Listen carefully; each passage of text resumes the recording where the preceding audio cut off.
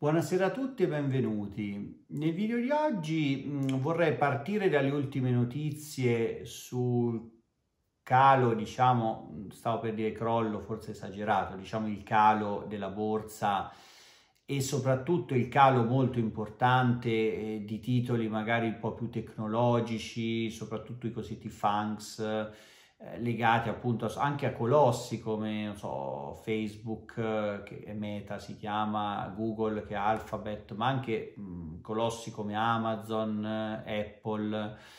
eh, avevamo visto Netflix, eh, ma anche non so, AMD per esempio, Tesla stessa, insomma tutta una serie di società mh, legate così agli ultimi anni di, di grande sviluppo della tecnologia, ma soprattutto della tecnologia di consumo. Eh, legati anche così allo stare a casa, soprattutto dal 2020, quindi al cambio delle abitudini, alla grande diffusione e moda anche delle criptovalute e legate proprio alle criptovalute c'è stato anche un crollo ancora più marcato non solo di alcuni altcoins magari così più volatili storicamente, ma anche del Bitcoin e dell'Ethereum eh, che sono un po' considerati l'oro e l'argento del, del, mercato delle criptovalute, con cali molto significativi. Il Bitcoin dai massimi ha perso circa la metà, quindi insomma un calo molto importante e molti analisti dicevano all'epoca sì però in realtà adesso il fatto che ci hanno investito molte banche, grossissime società, istituzioni finanziarie, fatto stesso che anche l'atteggiamento dei governi è sempre un po' ambiguo, a volte contro, a volte invece con, considerandoli ormai parte di, del mercato finanziario, fatto anche che hanno creato sempre più strumenti derivati e finanziari legati ai prezzi delle criptovalute, faceva ritenere che il prezzo sarebbe stato più stabile. Invece poi così non è stato, ecco, poi al di là di come magari uno lo vive e lo pensa. Poi c'è stata la notizia ancora più impressionante del crollo di Terra Luna, diciamo la eh, stablecoin di fatto, la criptovaluta che doveva essere addirittura agganciata come valore stablecoin sarebbe appunto una criptovaluta che ha un valore stabile e che appunto dovrebbe prevenire questa variabilità, quindi doveva essere ancorata a un dollaro sostanzialmente. Poi ognuna ha dei sistemi diversi, delle regole diverse, adesso non, non mi addentro. Poi anticipo tra parentesi, dovrei fare a breve un video, sempre un altro video con Francesco Cremese, proprio sul tema criptovalute dal punto di vista di investimenti finanziari, insomma ci confronteremo. Lui poi sul tema è più informato di me, soprattutto su singoli progetti, quindi poi ne parleremo meglio con lui, ecco, quindi anticipo questo, insomma, adesso non so quando, ma brevemente, insomma, cercavamo di organizzarne un'altra. E, ehm, ecco, a parte questo, che tra l'altro saluto Francesco. E, ehm, detto questo, appunto, uh, questo crollo eh, addirittura di Terra-Luna di circa il 99%, che dovrebbe essere legato, ancora così ci sono tanti retroscena, si leggono, probabilmente a un attacco speculativo, c'è chi dice appunto a una trappola che hanno fatto, oppure altri proprio al fatto che così sarebbe, diciamo, scoppiata come così, però il fatto anche che le stable coin appunto siano state così sotto pressione dà l'idea eh, della grande variabilità di questo mercato. Quindi ecco, mh, stanno continuando anche tutta una serie di trend che avevamo visto, eh, dicevo ribassisti, soprattutto su questi titoli più famosi, ma un po' tutto il mercato, anche lo Standard Poor's 500 è calato molto, lo stesso Dow Jones, che sono proprio le imprese più standard, più così legate alla, fina- alla economia tradizionale e questo anche in Europa ovviamente, anche perché qui poi ci sono tutti i problemi legati così ai rapporti con la Russia, stiamo assistendo a tutta una serie di voltafaccia dietro front no? rispetto all'approccio così eh, spietato no, dei nostri così, politici che magari passavano a dire manderemo in fallimento la Russia in poco tempo, ci saranno le rivolte lì, così auguravano ogni male, così discriminazioni anche così a singole persone, non solo ai russi che così avrebbero solo la colpa di essere così di quella nazionalità, eh, con casi anche mh, vergognosi, insomma, di gente che non c'entrava nulla, ma anche proprio addirittura così anche cose che suonavano, addirittura cambiavano nome all'insalata russa, eh, no, Dostoevsky che era eh, artisti, musicisti così morti da decenni che così venivano bannati, cose fuori di isteria proprio a cui abbiamo assistito prima col virus negli ultimi due anni, adesso era trasferita questo. Appunto questo approccio duro, poi abbiamo visto adesso invece brevemente notizie di questi giorni, la, mm, appunto ehm, Bloomberg mm, scriveva che circa 20 società europee aperto conti, avrebbero aperto i conti con la Gazprom Bank per pagare il rubli, il gas, cosa che ovviamente fino a un mese fa era stata assolutamente negata, non ci piegheremo mai, anzi li ridurremo la fame, possiamo fare a meno di loro, così non è stato, ovviamente come era prevedibile, avevamo già anticipato, ma senza prendere le parti di uno o l'altro. E in secondo luogo, poi dicevano, ecco, i stessi politici, tra cui il nostro Presidente del Consiglio, che diceva che assolutamente pagare il gas in rubli sarebbe stato una violazione contrattuale, non se ne parlava, per non parlare, non ricordo quello che diceva il nostro Ministro degli Esteri, insomma, ecco, legato così eh, al presidente russo, insomma, tra l'altro che due anni prima insomma, invece osannava. Eh, a parte questo, ehm, a un certo punto, adesso invece lo stesso nostro Presidente del Consiglio sta dicendo che comunque pagare il gas in rubli non è una violazione eh, delle sanzioni, quindi si può fare, ecco, quindi proprio un voltafaccia totale e tra l'altro vari così anche politici di partiti, quelli che più sostenevano di dover mandare armi, di continuare questa guerra per così sfiancare la Russia, anche se allungare una guerra significa pro- probabilmente allungare i morti da tutte e due le parti, però loro avevano questo approccio, adesso invece dicono basta, bisogna sederci a un tavolo di pace, quindi così totalmente dicevano che stavano perdendo la guerra, ogni giorno arrivano notizie di altre città così che invece vengono oh, prese dai russi, quindi però ecco, questo è l'aggiornamento sulla situazione europea che chiaramente mette molta pressione. Avevamo visto il fatto che eh, portavoce la Bundesbank tedesca ha detto che l'Europa alzerà i tassi per probabilmente per combattere l'inflazione. Curioso che lo dicano i tedeschi, probabilmente perché sono i più insofferenti all'inflazione che in Europa sta devastando soprattutto la Germania col 7,8%, poi vedremo gli ultimi dati quali saranno. Quindi anche l'Europa ha molte pressioni sia sui mercati sia purtroppo sull'economia reale. E sono partito anche da questi così aggiornamenti. L'euro è quasi in parità col dollaro, siamo arrivati a 1,03, adesso è risalito appena sopra 1,04, ma ormai siamo veramente vicinissimi alla parità livelli che non si vedevano da tantissimi anni. E mm, sono partito ecco da questi così aggiornamenti ma per dare dei consigli su come affrontare psicologicamente anche partendo dai miei errori passati vi racconterò le mie esperienze i cali del mercato. Mm, quindi voglio darvi così cinque regole a cui ho pensato ripeto partendo dai miei errori passati dalle mie esperienze dalle mie così eh, errori di investitore per fortuna con piccole cifre da quando già ero molto piccolo, però ho vissuto a livello psicologico soprattutto tutti quegli errori eh, che tra l'altro avevo anche letto in dei libri, ma poi quando li vivi in prima persona tutta la teoria che hai letto mm, così non ti torna in mente e mh, mm, avevo visto tutta una serie di errori e si impara sbagliando, solo che appunto a volte eh, diciamo il costo di sbagliare è più o meno alto. Nel mio caso, per fortuna, non è stato altissimo col senno di poi. Ho sbagliato, ho perso tanto, ma tanto per quello che poteva essere un bambino, quindi magari potevano essere poche centinaia di euro. Eh, che magari in percentuale di investimento per ora sarebbe stato devastante se avessi investito molto di più e questo comunque mi ha insegnato anche a sbagliare e a imparare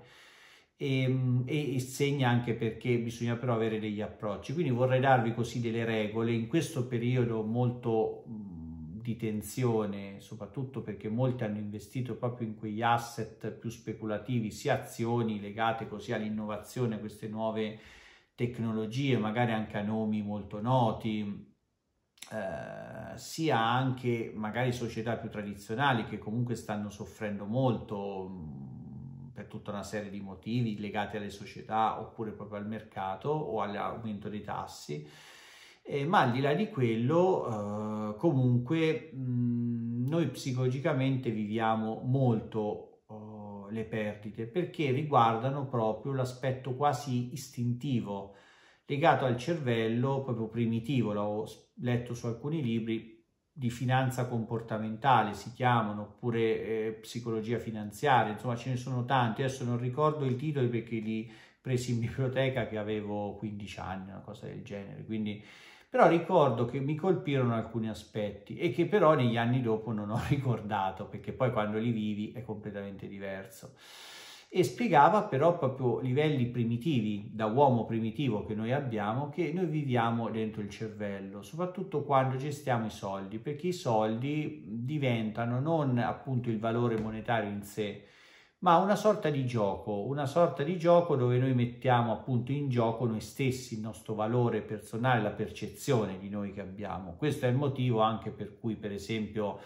vi sarà capitato, presumo a tutti, a Capodanno, alle feste di Natale, magari vediamo tra amici e parenti qualche elemento fanatico anche nello sport, proprio così, di persone che nella vita normale sono le più simpatiche, tranquille del mondo. Quando fanno così dei giochi da tavolo, anche che non giocano niente o magari giocano le caramelle o delle cose, eh, vedi che proprio giocherebbero per la vita, devono vincere a ogni costo. Io conosco persone che così se perdono non ti parlano tre giorni, anche se così non lo so. Gente che barava questi quiz, eh, sapete, no? Quello, adesso ricordo il nome di quel gioco con le carte che devi rispondere alle domande. Gente che sta lì con i cellulari sotto, guardare le risposte che dovevano vincere anche barando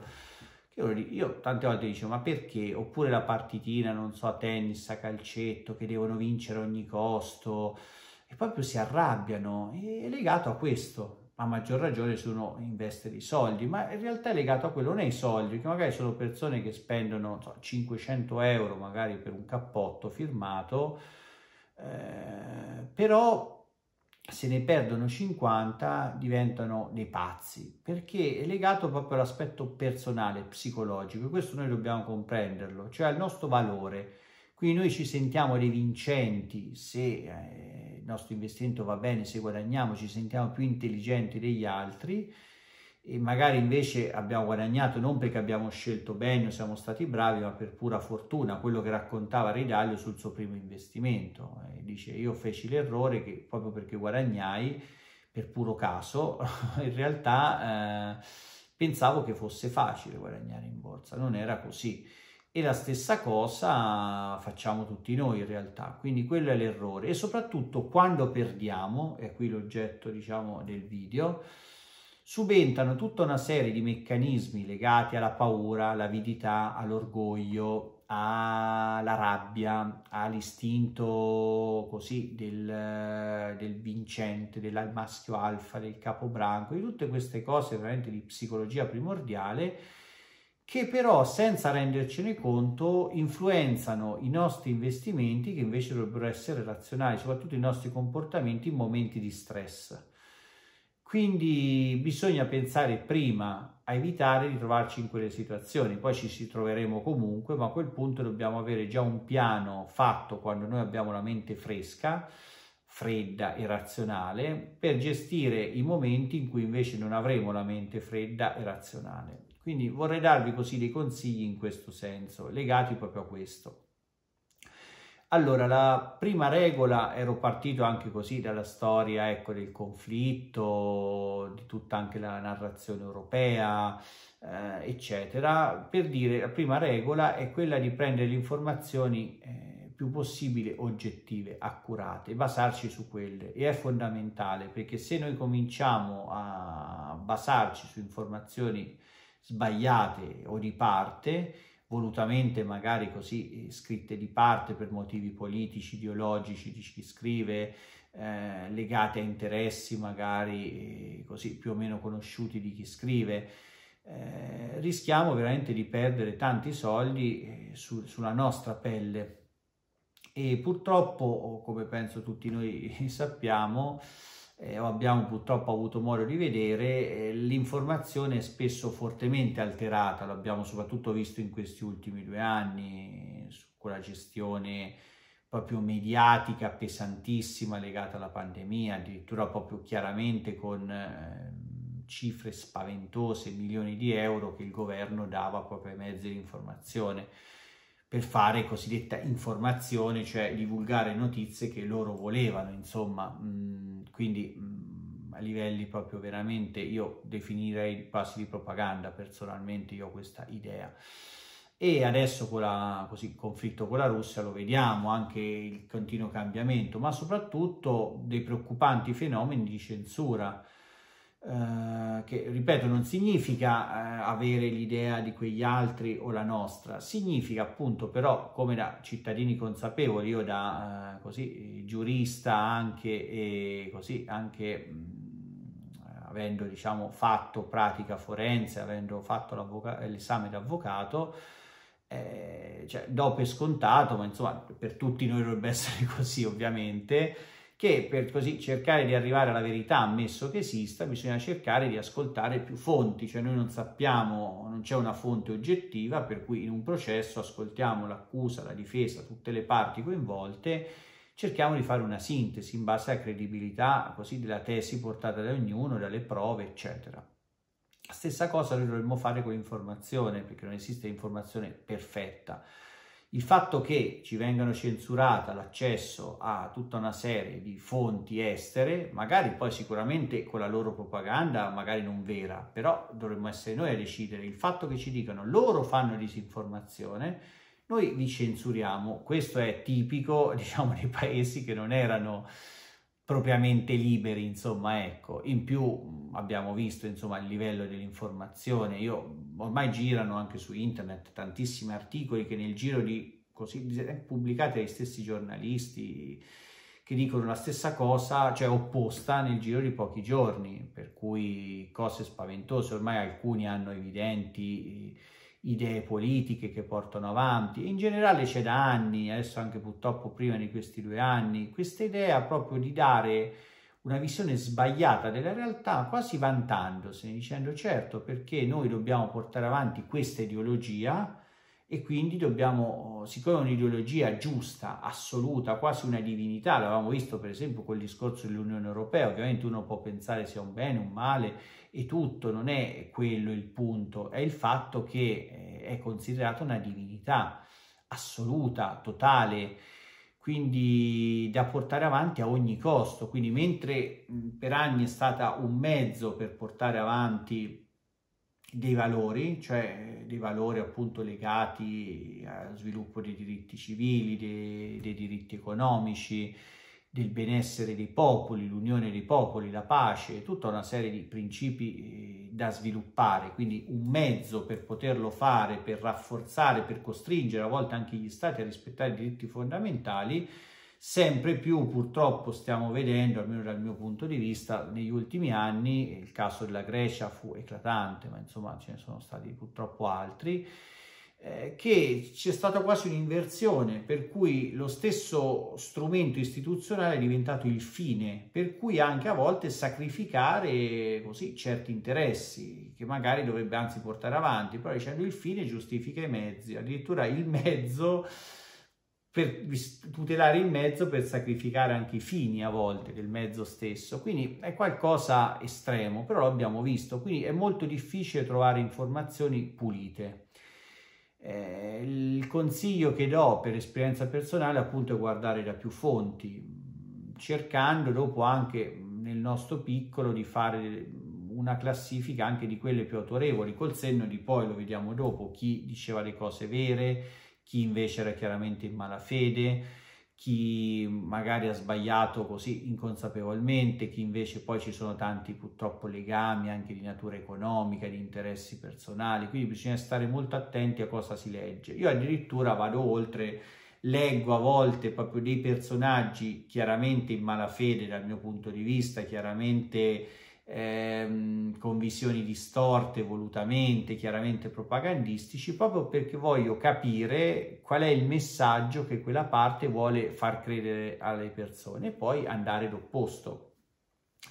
E mh, questo, ripeto, è importante perché tante volte, seguendo cosiddetto neanche il gregge, ma insomma quello dove appunto vogliono portare il mainstream, si rischiano di fare decisioni sia a livello personale sia a livello anche economico devastanti, perché poi è quello il punto, perché come ricordava Galbraith nel caso del libro del 29, del crollo del 29, la maggior parte delle persone che persero i soldi nel crollo non erano persone che avevano investito all'inizio e poi furono travolti dal crollo, ma erano persone che, seguendo anche i consigli di persone cosiddette autorevoli dell'epoca, anche professori, eh, noti giornalisti, scrittori, esperti, sedicenti esperti di finanza,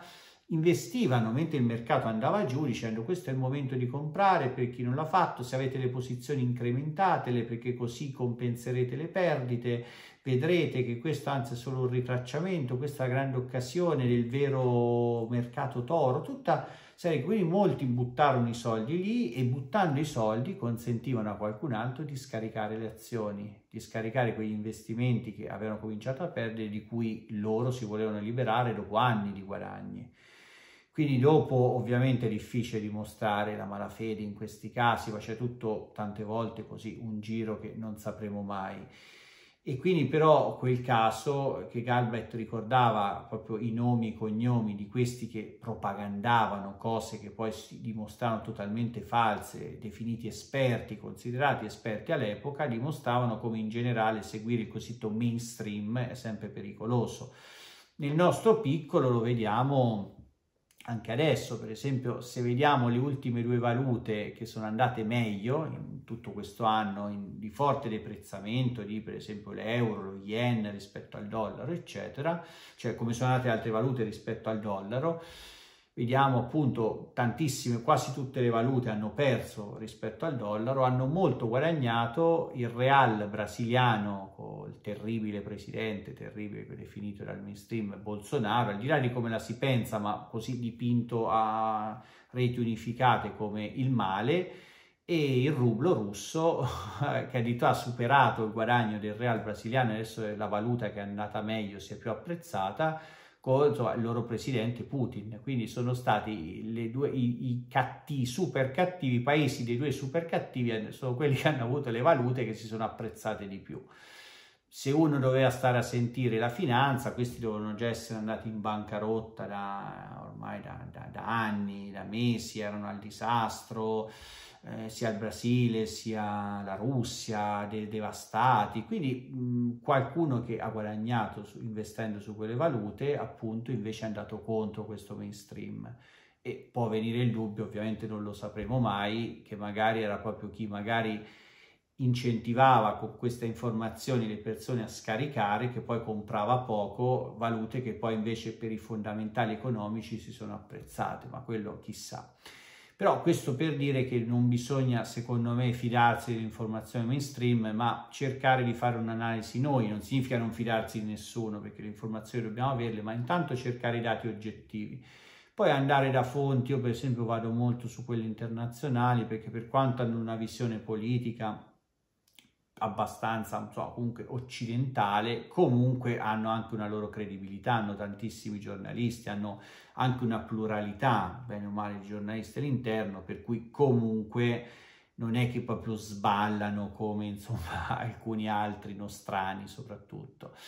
Quindi il prendere informazioni è fondamentale, soprattutto in periodi di crisi e di cali del mercato, perché in quei momenti sarete ancora più nervosi, ancora più agitati, non avete tempo di approfondire, avete fretta, io facevo così, le prime cose che leggete, quasi cercate addirittura gli articoli che vi diano ragione, che vi dicano che, no, che il mercato migliorerà, che, che, è il momento di comprare, che la situazione si sta risolvendo, li cercherete. Io mi ricordo che nel caso del crollo del 2020 del Covid facevo questo. All'inizio anche lì ci fu un esempio del genere, sembrava che la,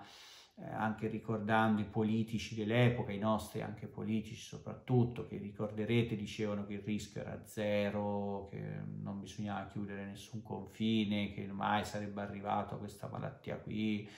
eh, eh, che esperti cosiddetti tali, che poi casualmente anche giornalisti furono poi quelli che un mese, due mesi dopo erano i più accaniti e feroci sostenitori di ogni limitazione di libertà, trattamenti sanitari obbligatori, dopo anche con uh, tutti i medicamenti obbligatori, punture, eccetera, erano i più cattivi, cioè quelli che all'inizio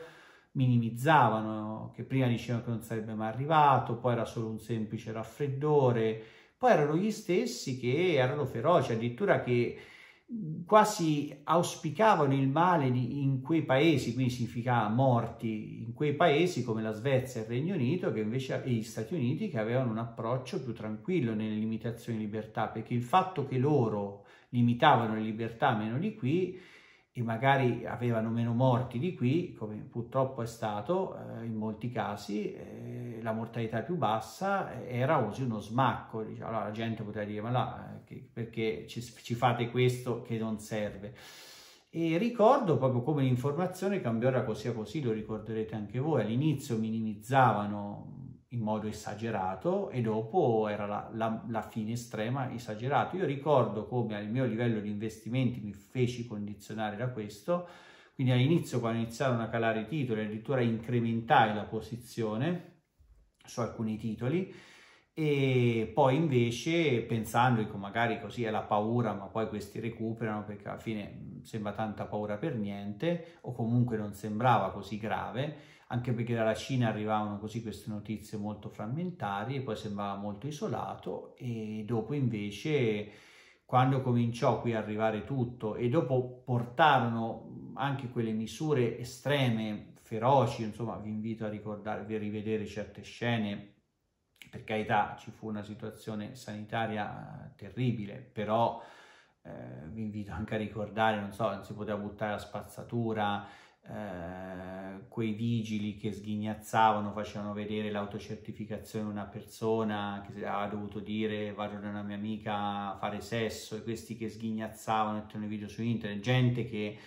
fino al giorno prima non era nessuno. Io personalmente ho avuto delle esperienze del genere, stava per nascere mio figlio il giorno prima, due vigilesse, tra l'altro donna, fermarono, quindi uno penserebbe, cioè mia moglie aveva un pancione enorme, enorme e quindi neanche stava sul sedile del passeggero, io la portavo in ospedale così per le visite e mm, queste fermarono, dice lei, dice che, mm, scusi, lei a che titolo guida? Detto, ma non lo so, dopo mi ero anche un po' innervosito, dopo capirono, dice, ma dice, lei a che titolo guida? Scusi, lei a che, cioè, non può guidare, se sua moglie va da sola, lei a che titolo si muove? Detto, scusi, la vede oppure, eh, ma lei a che titolo? Poi Ricordo che lei aveva sul foglio, vollero vedere il foglio dell'impegnativa, che lei andava in ospedale per quello, uh, avevamo un appuntamento mi pare alle tre, erano le due e mezzo, lo dicevano ma lei, qui sono le due e mezzo, l'appuntamento alle tre, allora perché eravamo tra l'altro vicinissimi all'ospedale, era lì, quindi era evidente andavamo lì. E lei come mai? Cioè, quindi ricordo la follia totale di questa situazione, parentesi personale, ma per dire. Questo però condizionò anche ovviamente eh, tutta la mia vita condizionerà e anche tutta la visione del mondo che ho avuto questi due anni mi hanno come evidente, ma anche in positivo, è stata come una doccia fredda, terrificante, però mi ha aiutato a capire tante cose, mi ha così aperto gli occhi su tutta una serie di falsi miti che avevo anche in questo paese. Chiusa parentesi. Ehm, però eh, anche sugli investimenti feci degli errori perché io stesso ero condizionato da quella visione di fine del mondo. Ricordo che in quei giorni il petrolio arrivò a meno 10, cioè un prezzo negativo, cioè si veniva pagati per prendersi petrolio per quanto tutto il mondo pensava che stava per finire tutto. E, ehm, e, ricordo che non solo avevo venduto tutto anche un po' in perdita, ma dopo iniziai a comprare allo scoperto, cioè a investire, diciamo, short, come si dice, e um, all'inizio guadagnai, poi il mercato riprese, proprio nella fase in cui sembrava peggio qualcuno ricominciò a comprare e quindi persi più con gli investimenti short che magari con gli investimenti normali che avevo fatto, ma poi via via avevo liquidato, quindi comunque avevo un po' eroso i guadagni, ma non avevo perso. Quindi questo per dire che le informazioni pure oggettive sono fondamentali, sono fondamentali da trovare, dovete cercare di avere una visione oggettiva e obiettiva e trovare anche delle fonti attendibili. o guardare dati grezzi o comunque guardare più fonti diverse, anche non attendibili ma tutte diverse, in modo da fare una sintesi, un po' immaginate come in tribunale. Quindi questa è la prima regola fondamentale. Seconda regola di cui già avevo fatto ossia accenno in altri video è stata quella del um, investire solo quello che siete disposti a perdere. Sempre facendo l'esempio nel mio caso del 2020, io avevo ho due conti titoli, uno con pochi soldi, avevo comprato degli ETF singoli titoli, ma molto poco e lo usavo quasi mai, nel senso investiti, li lasciavo lì. E un altro invece con la maggior parte dei risparmi che compravo, vendevo, ero molto attivo. E mh, praticamente con quello più grande feci questa cosa, quindi compravo, vendevo, alla fine del gioco avevo perso, poi dopo ho recuperato, ma insomma avevo perso tanto, soprattutto di commissioni, perché con queste cont- continue compravendite ho regalato centinaia di euro alla banca, oltretutto di commissioni, tra l'altro. L'altro conto invece di cui avevo dimenticato, non dimenticato le password, ma sapete dopo un po' di tempo che non fate accesso dovete ripristinarle, tutte quelle procedure un po' antipatiche e quindi ho detto ho pochi soldi, tanto non è che cambia molto, li lascio lì, erano veramente pochi, però erano abbastanza diversificati. Bene, quel portafoglio aveva sì perso molto all'inizio, ma poi ha recuperato molto di più. Quindi io lasciando tutto fermo, se avessi lasciato tutto fermo, eh, avrei alla fine guadagnato, invece che fare tutte quelle continue compravendite ed errori. Perché questo? Perché nel portafoglio più piccolo ho investito appunto meno soldi e quindi quello che ero disposto a perdere, ovviamente non significa che uno è felice di perderli chiaramente, ma che ero disposto a... Mh, lasciare, insomma, ecco, a dire non è che mi faccio a condizionare. E infatti, ecco, il segreto uh, per capire, secondo me, questa è la mia idea, se siete disposti, se avete investito troppo rispetto a quello che siete disposti a perdere, è mh, mm, se voi state sempre a vedere le quotazioni, a vedere l'estratto, a vedere quanto hanno aumentato e diminuito. Se voi invece vi riuscite a dimenticarvi, mettete i soldi lì, investiti, non ci pensate, sono investiti per il futuro, eccetera, non state, sì, date un'occhiata, non state troppo dietro, allora vuol dire che non è che vi siete fatti condizionare troppo e fate scelte consapevoli, magari anche di vendere i titoli, ma lo fate con consapevolezza, non presi dal panico. Io avevo fatto questo errore perché all'inizio avevo investito non molto, dopo quando hanno cominciato a calare ho incrementato le posizioni dicendo vabbè l'occasione, ho perso un po' ma è l'occasione di vendere, sono dei prezzi buoni, di comprare, sono dei prezzi buoni e invece andai oltre la quota che dovevo e lì fu il mio errore, dopo infatti psicologicamente non ero più obiettivo. Quindi secondo consiglio investire solo quanto siete disposti a perdere. Terzo consiglio è appunto quello di mantenere, diciamo, delle, fare delle regole prima che ci sia un calo, un piano, diciamo, di regole e rispettarle. Quello ovviamente lo dovete decidere voi, ma per esempio la cosa più classica è dire io massimo voglio perdere, non so, il 10%, il 20%, quello che sia, un cosiddetto stop loss, che o potete impostare proprio col sistema della banca per cui vende se raggiunge un certo prezzo il titolo, oppure lo fate voi, insomma, eh, per disciplina vostra. E a quel punto voi siete tranquilli, massimo ho perso tot. Se invece non lo fate, entrate in quel meccanismo psicologico devastante che io ho vissuto e ho sbagliato, di non voler ammettere la perdita, di non voler ammettere l'errore, anzi, come, come si fa il casino quando si perde,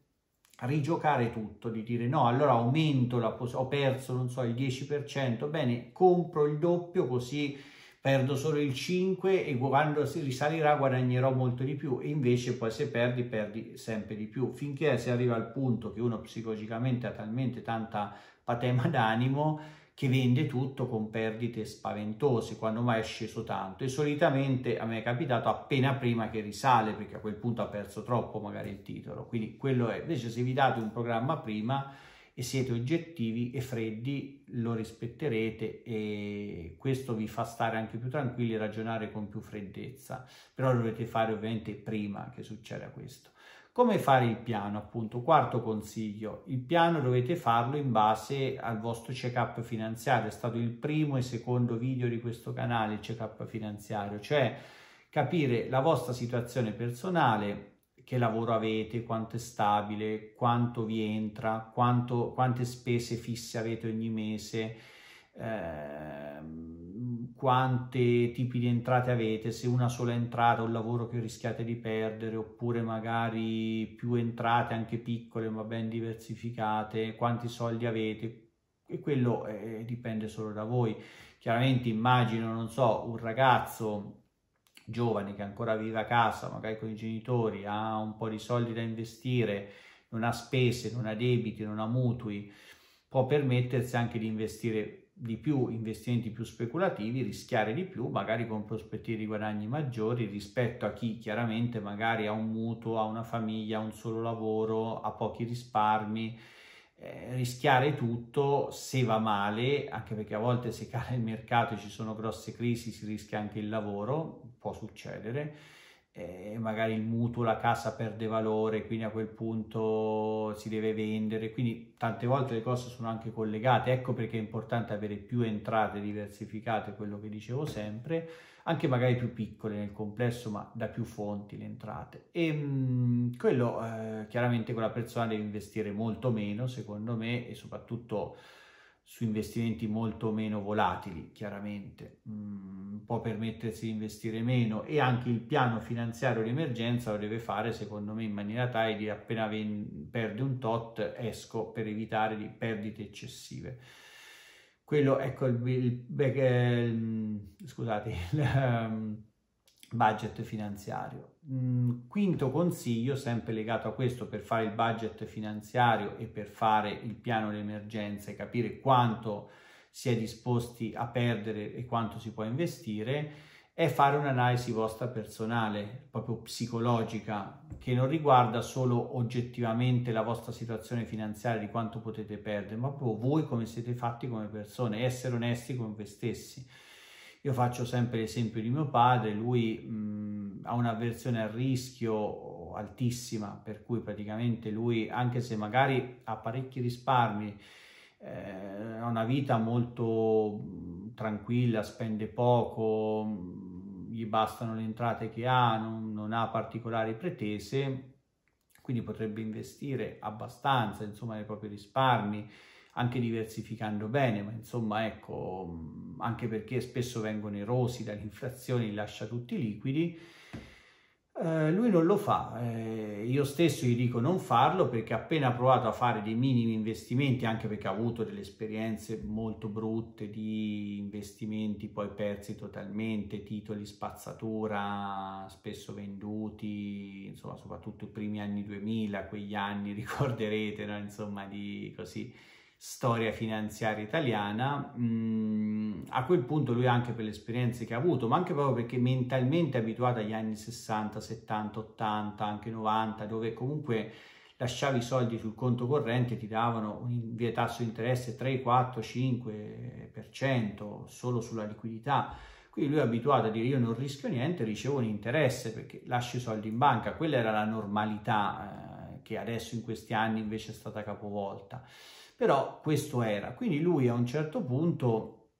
l'idea anche di dire, io, ci sono stati casi investimenti che perdeva lo 0, qualcosa, ma magari erano 100 euro, quei 100 euro lui dice accidenti, io però ci andavo a cena tre giorni, eh, tre cene ci facevo, magari sto attento a non spendere troppo di qua, non perché sia tirchio, anzi molto generoso, ma ci sta attento, insomma, come tutti, magari io ci non vado a far lavare la macchina e poi 100 euro l'ho perso e tu non è che l'hai persi, è calato oggi, magari domani dici, eh ma magari domani perde di più, allora sono 300, che cacchio, però uno... Ho detto, senti, lascia perdere, vendi, lasciali liquidi per come sei fatto. Quello, al di là del budget, magari il budget finanziario gli consentirebbe di farlo, ma la sua psicologia no, lo vive male proprio psicologicamente, quindi eh, quello anche fondamentale. Voi dovete secondo me investire solo proprio l'idea di dire metto da parte dei soldi anche proprio per non spendere, per non lasciarli liquidi sul conto investiti, però in base alla vostra situazione, alla vostra avversione al rischio, al non voler rischiare in base a quello che voi volete fare, ma con l'ottica poi che se state col patema d'animo non va bene, cioè voi pensate anche sempre questo, investite con l'idea di avere dei soldi in futuro per stare più tranquilli, per non trovarvi, se vi trovate senza lavoro, io penso anche alle persone che questo inverno hanno dovuto così per non piegarsi a ricatti sanitari, eccetera, hanno dovuto lasciare il lavoro o sono stati sospesi, chi aveva dei risparmi ha potuto farlo, chi non, non li aveva purtroppo non poteva, eh, ha dovuto così eh, fare quello che non voleva, sono stati costretti mh, di fatto eh, quasi eh, ricattati, è un termine forte, ma a me viene in mente solo questo, eh, per cui qualcuno lo dice anche, dice certo, serviva questo, perché qualche idiota non voleva farlo e allora serviva questo, quindi lo dicono anche alcuni, eh, cioè, quindi proprio in modo spudorato. Chi aveva dei risparmi non si è piegato e io dico sempre questo inverno è stata la prova eh, di come avere una indipendenza finanziaria, la libertà finanziaria significa anche a volte libertà personale, purtroppo per tanti. E quindi ecco, fatevi sapere, quindi questo è il consiglio, quindi questi cinque consigli, riassumendo informazioni più possibili oggettive per poter decidere al meglio e non farvi condizionare in negativo un investire solo quello che si è disposti a perdere, fare un piano per questi momenti di cosa fare in caso di perdite, fare un budget finanziario prima e fare un'analisi personale prima della vostra avversione al rischio reale. Io penso con questi eh, cinque consigli che eh, per mia esperienza, insomma, se li avessi seguiti avrei perso molto di meno eh, vi possono aiutare molto, ovviamente non sono completi, anzi fatemi sapere nei commenti se vi viene in mente qualcos'altro. Io vi ringrazio, come sempre vi saluto, ciao a tutti.